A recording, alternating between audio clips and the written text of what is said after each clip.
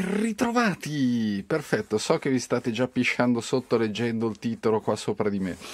Però ovviamente quello che vedete qua sopra, indovinate un po' che cosa servirà? Esatto, lo Sparapatate 2018 Edition! Cazzo sì! E questa volta sarà di iniezione elettronica. Allora, che cosa serve? Ovviamente la solita braga d'accesso con ispezione. Ispezione sarebbe questa caccata qua che si apre e si chiude, ok? Poi, quindi, braga di ispezione, il cieco finale, cioè il tappo cieco finale.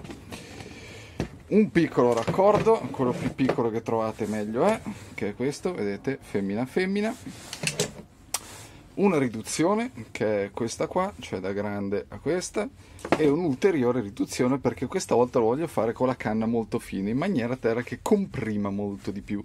Quindi ulteriore riduzione e canna, questa era da un metro, vabbè, mm, poi la accorceremo.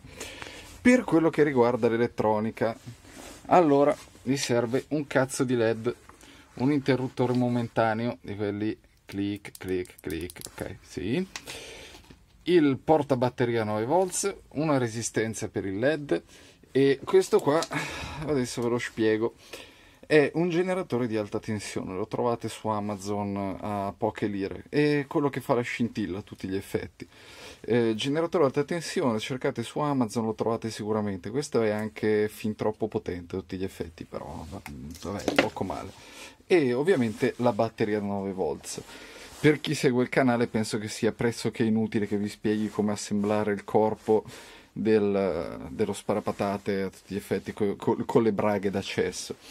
Questa volta ovviamente, visto le passate esperienze tipo esplosioni in faccia, ustioni, ospedale, non ce ne voglia quest'anno, utilizzerò questo qua, colla saldante per PVC rigido alta pressione. Insomma, siccome non mi fido molto comunque utilizzerò sia la colla a caldo che in giro qualche parte ecco sotto i miei piedi che lo scotch che il silicone. Questo perché? perché prima salderò tutti i bordi con questa cazzo di colla qua. All'interno poi qua riempirò tutto di silicone e poi prenderò e ci metterò un bel giro di nastro telato adesivo. Poi alla grande cazzo quindi niente, inizio a montare il corpo e ci vediamo tra poco. Ok, piccolo intermezzo di spiegazione. Ho utilizzato della bicomponente per questo pezzo qua, infatti come vedete incollaggio a cazzo di porco proprio. Esatto. Tanto poi ci andrà sullo scotch la colla a caldo, quindi non me ne fotto un cazzo. Qua sopra invece ho riempito tutto con la colla, questa cazzo di colla qua, eh, che ho fatto vedere prima e eh, l'ho ficcata anche all'interno degli interstizi. Ecco sono riempito vedete? Sono riempito le mani di colla che adesso faccio concorrenza Spider-Man. Posso direttamente camminare sui muri però fa niente. Adesso non manca altro che sistemare i due pezzi 1 2 e la canna. Poi riempo tutto di colla caldo e scotch su tutte le giunzioni. E speriamo che stavolta non mi scoppi in faccia. Quindi a tra poco piccolo update, eh, giusto per farvi capire. Allora, prima ho riempito tutto di colla a caldo a questa maniera e poi ho fatto strisce di scotch su fino a giù e poi sul lato. Adesso faccio un altro bello strato di colla a caldo anche sul lato e poi un altro strato di scotch e farò così per tutti i pezzi. So che esteticamente non è il massimo, però la mia faccia ringrazia, soprattutto se esplode in faccia. Oh, speriamo stavolta non esploda. Comunque, così è il disegno. Va bene, continuiamo il montaggio. Ok, ecco fatto. Modalità hardware terminata. Ok?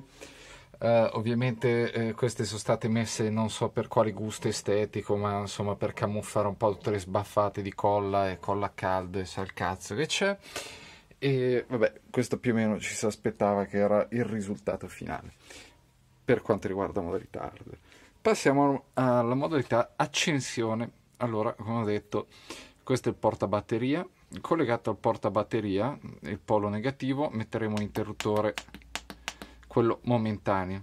Cioè, questo farà da tramite al negativo del nostro generatore eh, alta tensione.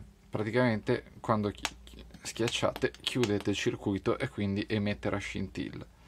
Sul positivo, invece, prima di questa resistenza da LED, metterò un interruttore per accendere e spegnere, almeno risparmiamo la batteria. Mentre lato, questo lato della resistenza andrà al positivo e a sua volta andrà collegato al positivo del generatore alta tensione. Il negativo del LED andrà al negativo del generatore alta tensione e poi ovviamente collegato all'interruttore. Andando avanti ho pensato di utilizzare questi due chiudini di rame che farò un buchino veramente molto piccolo sul lato, sul fondo del, del salcazzo di tubo qua della braga d'accesso in maniera tale che faccia solo la scintilla all'interno e faccia il più piccolo buco possibile per evitare che mi esploda in faccia. Eh, tutto questo gruppo penso che lo metterò su mille fori farò un piccolissimo macroscopico circuitino dove scatolerò tutto quindi batteria e circuito che andrò ad incollare poi dopo sulla culatta e niente metto all'opera e vi faccio vedere il lavoro finito. Ok, ecco a voi il circuito montato.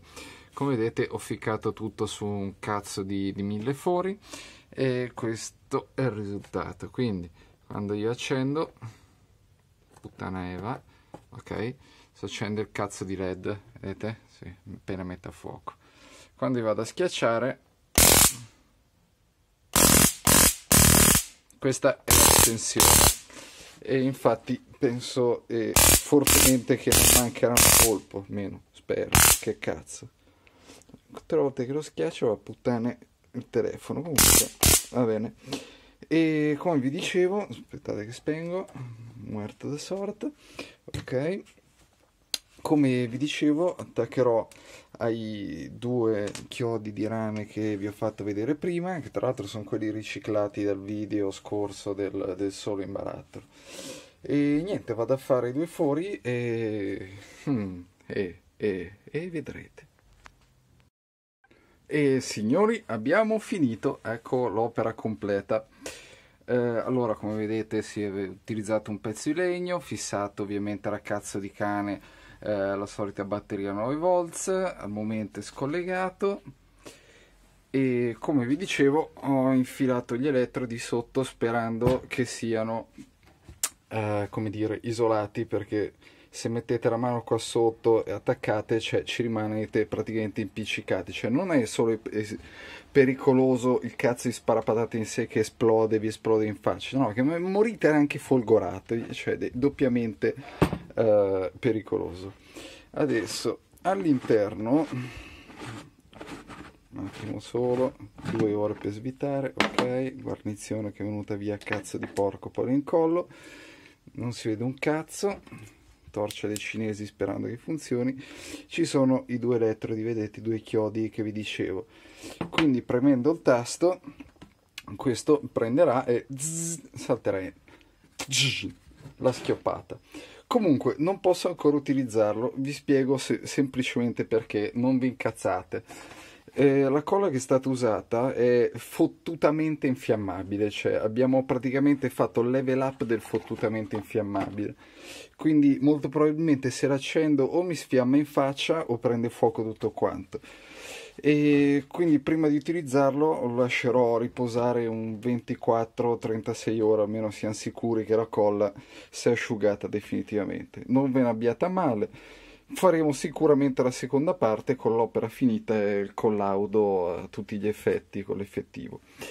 Quindi, che direi più? Per ora è tutto, un saluto e alla prossima!